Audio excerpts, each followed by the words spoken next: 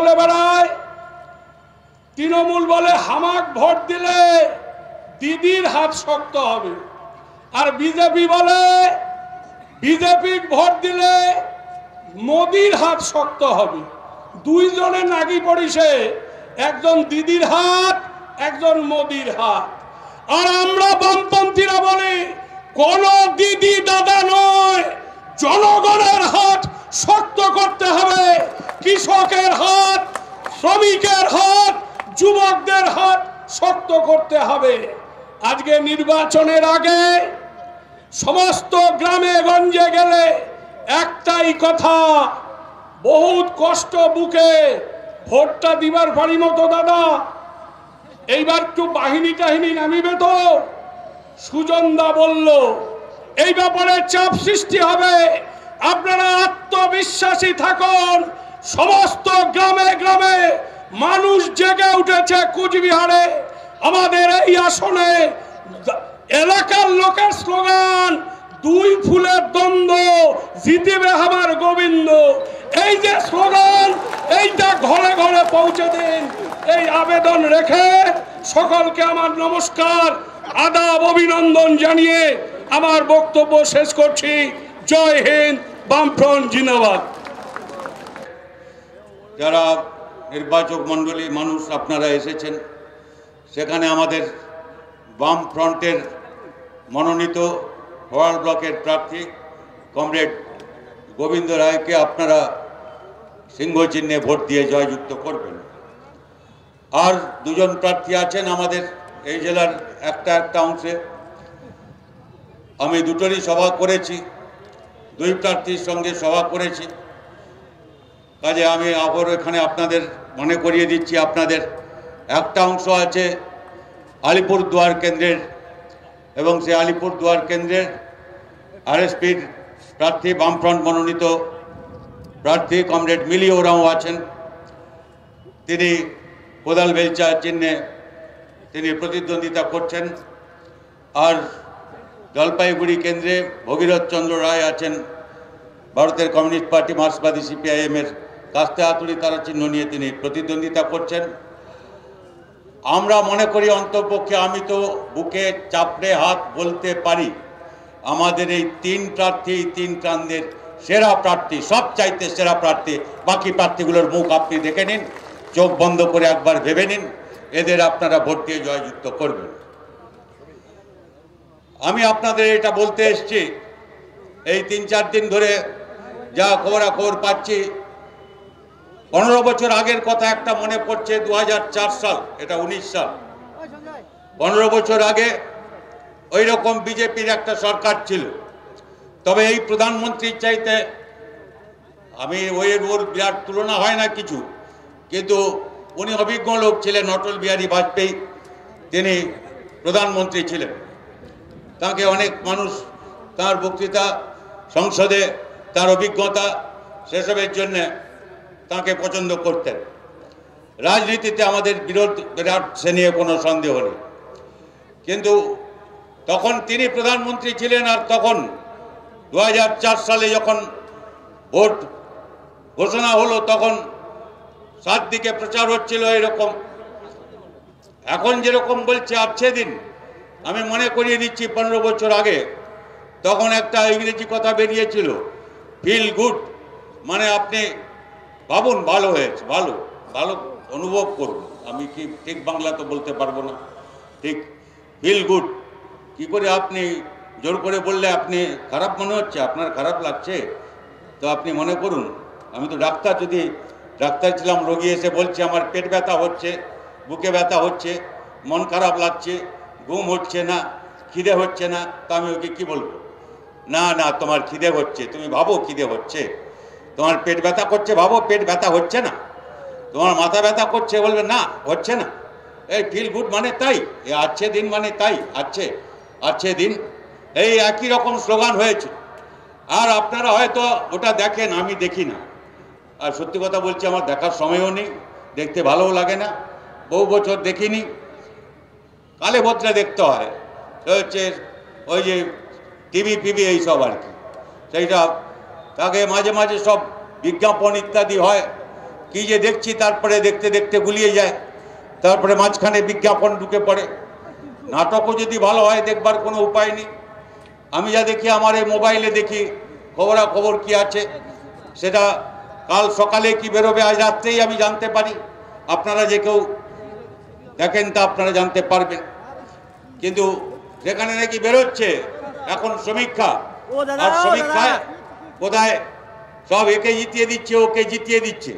বামপন্থীদের বাদে বাকি সবাইকে জেতাচ্ছে। আর তখনও এটা হয়েছিল এমনকি ভোট হয়ে গেল। ভোট কেন্দ্রে ভোট দিয়ে ফেরার পরে বুথ ফেরত সমীক্ষা সেটাও তখন বের করা হলো। আর দেখানো হচ্ছিল বাজপেয়ী দ্বিতীয়বারের জন্য প্রধানমন্ত্রী হবেন। বাজপেয়ী দ্বিতীয়বারের জন্য প্রধানমন্ত্রী হননি। আর বিজেপি ওই যে একটা ধাক্কা খেয়েছিল, দশ বছর মাথা তুলতে পারেনি। ভুল হয়েছে তারপরে। সব যদি ঠিকঠাক হতো, ওরা কখনো মাথা তুলতো না। কিন্তু এটা দুর্ভাগ্য হচ্ছে এই যে এরা আবার পাঁচ বছর একত্রিশ শতাংশ ভোট পেয়ে আমাদের পিটিআই বোধহয় আমার একটা ইন্টারভিউ নিয়েছেন, প্রেস ট্রাস্ট অফ ইন্ডিয়া। ওরা বললেন যে আপনারা তো গতবারে তিরিশ পার্সেন্ট ভোট পেয়েছিলেন, দুটো আসন পেয়েছিলেন। তো আপনারা বামপন্থীরা এই তিরিশ পার্সেন্ট ভোট দুটো আসন নিয়ে কি আশা করেন এবারে ভোটে? আমি ওকে বলেছিলাম, আপনি ভুলে যাবেন না। আমরা তিরিশ পার্সেন্ট পেয়েছিলাম, তিরিশ শতাংশ, আর মোদি একত্রিশ শতাংশ পেয়েছিলেন, বিজেপি একত্রিশ শতাংশ আসন পেয়ে উনি প্রধানমন্ত্রী হতে পারেন, আর আমরা তিরিশ শতাংশ আসন পেয়ে দুটো আসন পেলে ওর সঙ্গে আমাদের ফারাক হচ্ছে। যাহা বাহান্ন, তাহা তিপ্পান্ন, যাহা তিরিশ, ওই একত্রিশ, ওই বিরাট কিছু পার্থক্য নেই। দুর্ভাগ্য হচ্ছে এই যে উনসত্তর ভাগ লোক ওর বিরুদ্ধে ভোট দিয়েছিলেন। উনসত্তর ভাগ যদি এক জোট হতেন উনসত্তর ভাগ ছেড়ে দিন উনষাট ভাগ যদি হতেন উনপঞ্চাশ ভাগও যদি হতেন উনচল্লিশ ভাগও যদি হতেন তাহলে একত্রিশ নিয়ে উনি কি করতেন? ও ছাপ্পান্ন ইঞ্চি ছাতি ও ছাপ্পান্ন হতো না। যাই হোক, যা হয়েছে হয়েছে পাঁচ বছরে। সারা দেশের মানুষ তারা বুঝেছেন, অভিজ্ঞতা থেকে আপনারাও বুঝছেন। দিল্লিতে গদি ছাড়তে হবে, আর সেখানে একটা বিকল্প ধর্মনিরপেক্ষ সরকার কায়েম হবে। কাদের নিয়ে হবে, কে প্রধানমন্ত্রী হবেন, সে নিয়ে আমরা বলি না। কী করে বলব? যা ফলাফল হবে, তার উপরে ঠিক হবে। তবে মোদি থাকবেন না বিজেপি।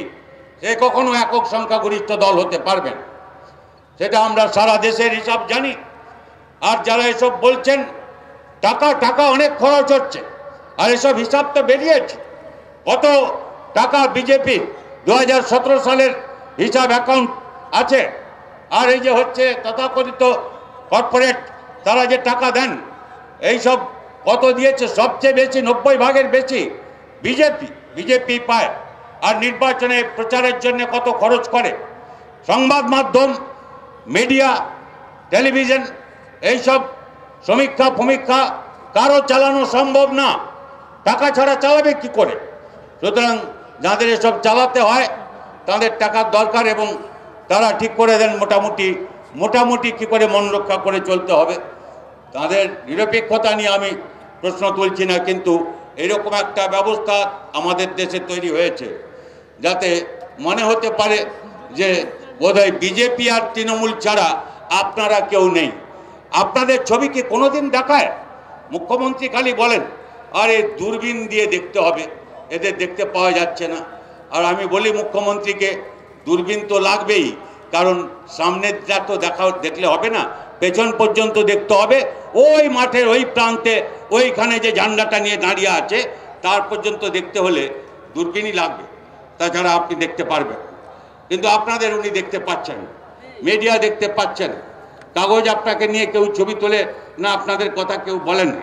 আপনাদের মিছিল কেউ দেখায় না। কিন্তু দেখা যায়, করতে হয়, কোথাও একটা টুকটাক দিয়ে দেয়। তাতে কিছু যায় না, আসে না।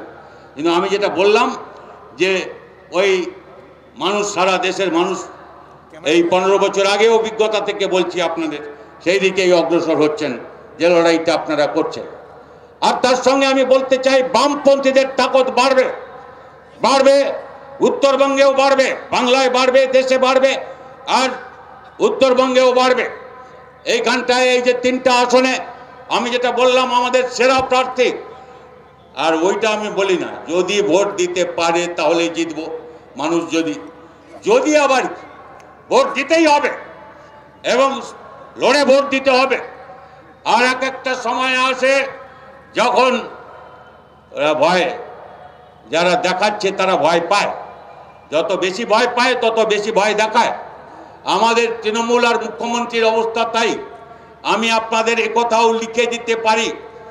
আমি বলছি, এখানে দাঁড়িয়ে রেকর্ড তো হয়, তারপরে হলে কেউ জানবে, আপনি এইসব বলেছিলেন। হলো না, তার কি করবেন?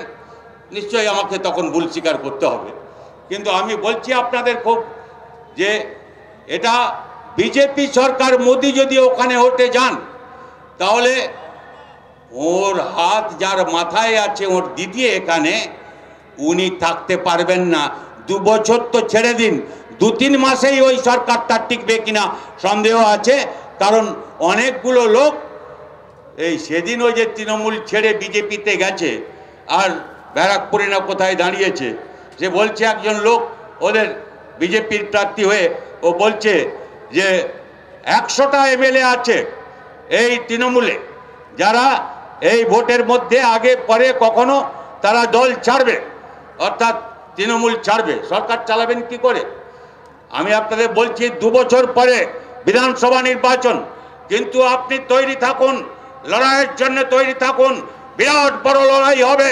এই লোকসভা নির্বাচনের পর সারা দেশব্যাপী লড়াইয়ের সঙ্গে লাল ঝান্ডা, ঝান্ডাগুলোকে শক্ত হাতে ধরে বড় লড়াই লড়তে হবে টালমাটাল হবে পশ্চিমবাংলা আর তার জন্যে আবার সুযোগ তৈরি হবে বামপন্থী আন্দোলন, শ্রমিকের আন্দোলন, কৃষকের আন্দোলন, বেকারদের আন্দোলন, ছাত্রদের আন্দোলন, যুব আন্দোলন, নারী আন্দোলন, আদিবাসী তফসিলি সংখ্যালঘু, নানা অংশের মানুষ তাদের যে লড়াই, সামাজিক বৈষম্য, অর্থনৈতিক বৈষম্যের বিরুদ্ধে লড়াই, বিরাট ক্ষেত্র প্রস্তুত হবে। যে দাবি নিয়ে আটচল্লিশ ঘণ্টার ধর্মঘট, যে দাবি নিয়ে জেলায় জেলায় জেল ভরো, আইন অমান্য আন্দোলন হয়েছিল তাদের নতুন একটা জোয়ার আসবে। ওই টাকা, ওই চোর ধরো, জেলে ভরো, আর জেল ভরে তারপরে ওদের সম্পত্তি বাজেয়াপ্ত করে টাকা ফেরত করো। ওই দাবি আদায় করে ছাড়বো আমরা। তার জন্যই এই লড়াই আরও জবরদস্ত লড়াই সামনে আসছে। মোদি, আরে যার হাতের মাথার উপরে, উনি রাফালে কেলেঙ্কারি সুপ্রিম কোর্টে আসল ফাইল আছে। আরে মোদি, আপনার দাদাদের যেখানে পাঠিয়েছেন, নীরব মোদি আর মেহুল চোসকে পালিয়ে গেছে এখন দেশ ছেড়ে। হয় আপনাকে দেশ ছেড়ে ওই রকম পালাতে হবে, আর দেশে থাকলে মোদি আপনার বিচার হবে, মোদির বিচার হবে। আপনি ওই তিরিশ না চল্লিশ হাজার কোটি টাকার কমিশনে রাফালে কেলেঙ্কারিতে আপনি বাদ পড়বেন। সুপ্রিম কোর্টে মামলা আছে ওখানে, আর পুরো ফাইল সুপ্রিম কোর্টে হাতে এখন জমা পড়ে গেছে, কেউ না বলতে পারে আর উনি পড়লে আপনি ভাবুন, এর পিঠে কে পড়বে? যারা বলে যে, আই, বিজেপিকে ভোট দাও, তো তৃণমূলকে আমরা দেখে নেব। তাই পাঁচ বছর বিজেপি কীরকম তৃণমূলকে দেখল আপনারা দেখেননি?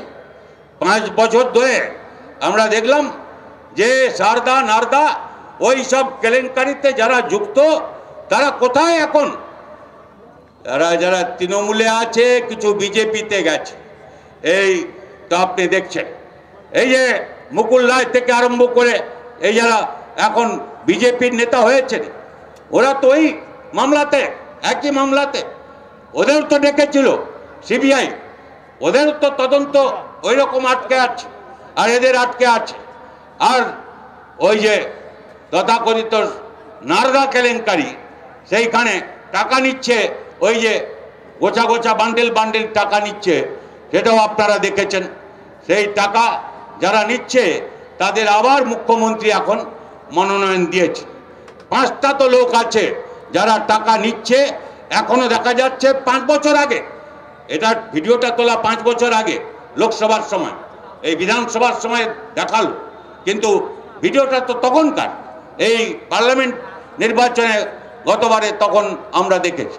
এবং সেই সময় এখন যে টাকা নিয়েছিল, সেই লোকগুলো যারা টাকা নিয়েছিল মুখ্যমন্ত্রী বলেছিলেন যে, জানলে এদের প্রার্থী করতাম।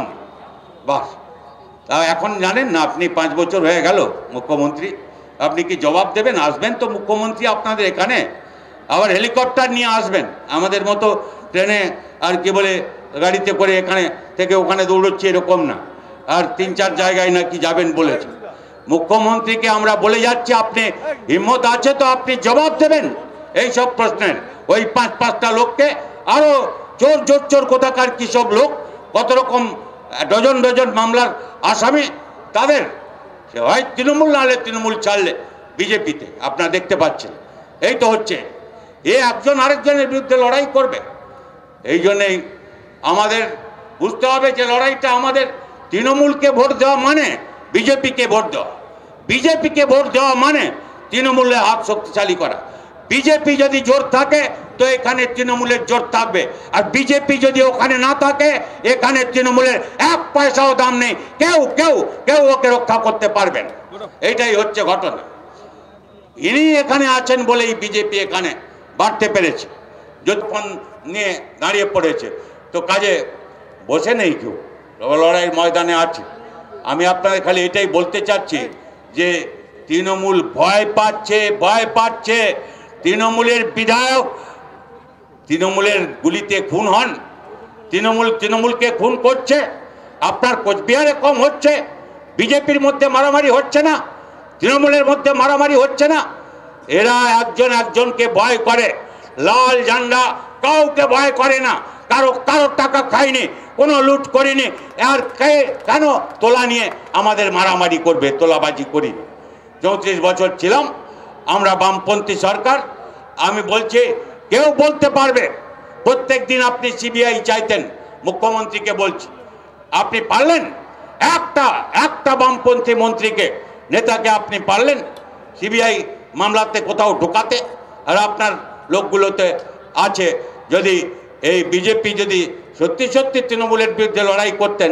আপনি মুখ্যমন্ত্রী, আপনি জেলে থাকতেন, আপনার পরিবার সহ জেলে থাকতেন, আপনার ডান পাশে, বাম পাশে যারা থাকে, তারা জেলে থাকতো। ভয় পাচ্ছে, আপনারা বুঝতে পারছেন হয়তো, ময়দান থেকে আপনারা এসেছেন। আমি আপনাদের বেশি বলতে পারি না, যে আপনারা বুঝতে পারছেন, মাটিতে কান রাখলেই বুঝতে পারবেন, তৃণমূল কাঁপছে, ভয় পাচ্ছে। আপনি খালি যদি উঠে দাঁড়ান, একবার তারা করেন, ছেড়ে পালাবার জায়গা পাবে না, ছেড়ে পালাবার সময় পাবে না। দরকার হচ্ছে একবার মুখোমুখি দাঁড়াবার, ঝান্ডার দান্ডাগুলো ওই রকম দান্ডা হলে হবে এক একটা পাতলা এই কাঁচা বাঁশের কাঁচা বাঁশের দান্ডা হতে হবে, আমি বলি। না আপনার রাইফেল বন্দুক, বোমা, কিচ্ছু লাগবে না। কোথায় ছেড়ে পালাবে তার কোনো ঠিক নেই। যে বারোটা জেলায় আমি এর মধ্যে এলাম, এই ভোট ঘোষণার ঠিক আগে পরে এইসব নিয়ে। যেখানে যেখানে মানুষ ঠুকে দাঁড়িয়েছেন, ওরা ছেড়ে পালাচ্ছে। যেখানে যেতে পারছিলাম না, প্রায় দশ বছর যেতে পারছিলাম না, সরকার ছিল, তারপরে সাড়ে সাত বছর হয়ে গেল। তখন থেকে সন্ত্রাস, নানা ইত্যাদি কারণে, সেই সব জায়গায় তথাকথিত মাওবাদী তৃণমূল অধ্যুষিত, যেখানে দুশোর বেশি কমরেড, যেখানে খুন হয়েছেন, যেখানে ওই ইয়েপার বাহিনী তাকে হত্যা করা হয়েছিল, মাওবাদীরা এসে করেছিল, তথাকথিত সেই সব জায়গায় যেতে পারতাম না। আর আপনি দেখছেন এখন, হয়তো যারা দেখেন, খবর রাখবেন। কাগজে এসব ছাপে না। সোশ্যাল মিডিয়া আমাদের ওখানে, কি বলে, ওখানে আপনি দেখবেন, লম্বা মিছিল হচ্ছে সেখানে। হচ্ছে সাহস নিয়ে দাঁড়াতে হবে। আমাদের খালি এইটাই নয় যে একে হটাও, এই সরকার আনো, এইটাই না। কেন? কি বিকল্পের জন্য আমরা লড়াই করছি? সেটা আপনারা শুনেছেন। মেঘ হয়তো আসছে, আমি ঠিক জানি না, কিন্তু আমি আপনাদের সংক্ষেপে দুটো একটা কথা বলে আমি সেইটা আমার কথা শেষ করতে পারি। কিসের জন্য লড়াই? সরকার বদলালে হবে? নেতা বদলালে হবে? না, নীতি বদলাতে হবে। সেই নীতিটা কি? কোন নীতির কথা আমরা বলছি? পথ দুটো, একটা ডান পথ, একটা বাম পথ। বামপন্থা বা দক্ষিণ পন্থা, যাকে বলা হয় রাজনীতিতে। একটা আমরা দেখছি, যেটা চলছে, যেখানে কৃষক ফসলের দাম পাবে না। আর প্রধানমন্ত্রী বলবেন, আমি ডবল দুগুণ করে দিয়েছি দাম। কি বলে? কৃষকের আয়। মুখ্যমন্ত্রী বলছেন, তিনগুণ করে দিয়েছে। উনি আরও একটা উঠে গেছে। একটা মুখ্যমন্ত্রী, প্রধানমন্ত্রীকে আমরা চ্যালেঞ্জ জানিয়ে বলছি, বিজেপি, তৃণমূলকে। একটা লোক কোচবিহারের যদি আছে হিম্মত, দাঁড় করান যে চাষি বলবে, আমার আয় তিন গুণ বেড়েছে এই সাত বছর, সাড়ে সাত বছর। সর্বনাশ হচ্ছে। আমরা কি বলছি? এটাকে রুখতে হবে। কৃষক আপনার ধান করবে, আলু করবে, সবজি করবে, পাট করবে, কি কিছু না কিছু করবে, যা করছে এখানে সেই চাষ করবে। তো সেটা করবে কি? মানে এমনি এমনি আমাকে কুলাই পাঁজি চালের ভাত খাওয়ানোর জন্যে সরু চালের ভাত খাওয়ানোর জন্যে, দেশকে খাওয়ানোর জন্যে লোকসান করে আপনাকে আলু ভাজা, বেগুনের ভর্তা আর কি বলে বেগুন পোড়া এইসব খাওয়াবার জন্যে মাছ চাষ করবে, আপনি মাছ ভাজা খাবেন বলে। আরে তাকে তো লাভ করতে হবে। এই চাষি যদি লাভ না করে, চাষ করবে কেন? লাভজনক দাম চাই ফসলের আর দাম ঘোষণা করলে হবে না। সরকারের কেনার ব্যবস্থা থাকা চাই। দিল্লির ফুড কর্পোরেশন ছিল, প্রায় উঠে দিয়েছে। কোনো ব্যবস্থা নেই। আমরা যে ব্যবস্থাটা করেছিলাম, সেটাকে এরা ভেঙে দিয়েছে আর এই কিষাণ মান্ডি ফান্ডি করেছে। কিন্তু ওখানে ফসলের দাম পান আপনি? এরা এরা তৃণমূল করেন, শুনতে পাচ্ছেন যদি। আমার কথা আমি জিজ্ঞেস করি। বিজেপি করেন, আপনারা যদি শুনতে পাচ্ছেন। আমাদের বামপন্থীদের বিরোধী যারা আমাদের পছন্দ করেন না, তারা যদি শুনতে পাচ্ছেন, আমি জিজ্ঞেস করছি, পাচ্ছেন নাকি? ফসলের দাম? আমরা বলছি, ফসলের দাম দেওয়া সম্ভব। স্বামীনাথন কমিশন হয়েছিল বামপন্থীদের তাকত যখন একষট্টি, তখন ওই পে এক সরকারে মন্ত্রী হইনি আমরা। কিন্তু সরকারকে চেষ্টা করেছিলাম বাম দিকে ঘোরাতে। যদি স্টিয়ারিং আপনার হাতে থাকে, তাহলে বাম দিকে ঘোরাতে পারেন। স্টিয়ারিংয়ে না থেকে আপনি গাড়িতে বসে কিছু লাভ নেই। আমরা স্টিয়ারিং আমাদের হাতে ছিল না। কিন্তু বামপন্থীদের তাকত ছিল স্টিয়ারিংটাকে বাম দিকে ঘোরাবার। কি ডান দিকে যাতে না ঘোরাতে পারে। তাই তাই ওই স্বামীনাথন কমিশন তাই একশো দিনের কাজের গ্যারেন্টি প্রকল্প আইন, তাই আদিবাসীদের বন বনাঞ্চলে অধিকার রক্ষার আইন, তাই তথ্য জানবার অধিকার, সেই অধিকার পাওয়ার আইন, তাই খাদ্যের অধিকার, তাই শিক্ষার অধিকার, এইগুলো হচ্ছে বাম দিকে স্টিয়ারিং চালাবার আইন। সেইটাই, সেই লড়াই জোর করে পার্লামেন্টের ভেতরে, পার্লামেন্টের বাইরে লড়তে হবে। আর তবে বাম দিকে ঘোরানো যাবে। কৃষকের ফসলের দাম চাই তাদের ঋণ মকুব চাই, কেন করবেন? বলছে, মকুব করবে, টাকা থেকে আসবে? আরে, টাকা আপনি এই বড় বড় আম্বানিদের, আদানিদের, তাদের ঋণ যদি আপনি লক্ষ লক্ষ কোটি টাকা যদি আপনি মকুব করতে পারেন, তাহলে কৃষকদের কেন মকুব হবে না? ওইটা ওখানে চার দিন আর আপনার দাদা নীরব মোদী, টাকা নিয়ে ভাগ, পাঞ্জাব ন্যাশনাল ব্যাংকের হাজার হাজার কোটি টাকা নিয়ে লন্ডনে ঘুরে বেড়াচ্ছে, একাত্তর কোটি টাকা দামের একটা ফ্ল্যাট থাকে, ওখানে ব্যবসা পেতে বসেছে। আর মেহুল চস্কি সে একটা দেশে, মাঙ্গুয়া বলে, গোয়া বলে একটা জায়গা আছে ওখানে, লাতিন আমেরিকায়। সেইখানে নাগরিক হয়ে গেছে। আর তা দিয়ে ওইখান থেকে ওই দেশের পাসপোর্ট নিয়ে সে আরও কত সত্তরটা না আশিটা দেশে ঘুরতে পারবে। এ, এরা কিছু করতে পারছে এ, এদের সবার ছবি আছে প্রধানমন্ত্রীর সঙ্গে। এই টাকা যা লুট হচ্ছে ওই টাকার অনেক কম টাকায় কৃষকের ওই কি বলে, ঋণ মকুব করা যেত। আর ওই যে বললাম দেড়গুণ দাম দিয়ে ফসল কিনে, তারপরে কি করবে? ধান নিয়ে, গম নিয়ে করবে কি? রেশনে দিতে হবে। দু টাকা কিলো চাল, গম, সাত কেজি দিতে হবে মাথা পিছু, তখন থেকে আমরা দাবি করছি। সাত কেজি মাথা পিছু দিতে হবে। পাঁচজনের পরিবার হলে সাত পাঁচে পঁয়ত্রিশ কেজি দিতে হবে। আর ওই তিরিশ ভাগ, চল্লিশ ভাগ, এই সব না। আমরা যেটা বলতে চাচ্ছি, তখন থেকেই বলছি আমরা যে ইনকাম ট্যাক্স যারা দেয়, এখানে কজন আছেন আমি জানি না, যাদের ইনকাম ট্যাক্স দেয়, তাদের হবে, তাদের ওই চাল পাবে না।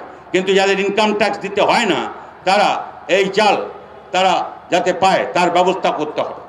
প্রত্যেকের পেটে ভাত আর প্রত্যেকটা হাতে কাজ। মূল লড়াই হচ্ছে এইগুলো। কাজ চাই, কাজ। একশো দিনকে দুশো দিন। এখন তো মুখ্যমন্ত্রী ওই চেঁচাতে আরম্ভ করেছে। দুশো দিন করে দেব, ডবল করে দেব। আরে বাবা, ভোট বড় বালাই তখন আপনি এসব বলেন। আমরা সারা বছর বলি, আপনাকে যখন কেউ চিনত না, তখন থেকেই আমরা কাজের দাবি নিয়ে লড়াই করি। আমি আঠাশে তারিখ গেল আপনাদের এই বেকার বিরোধী দিবস সত্তরের দশকে। তখন থেকে লড়াই, এই যে এখানে আমি দেখতে পাচ্ছি ওদের ঝান্ডা দেখতে পাচ্ছি ছাত্র যুবদের। তারা লড়াই করেছে। এই আঠাশ তারিখেও করেছে ওখানে বেকার বিরোধী দিবস বামপন্থীরা।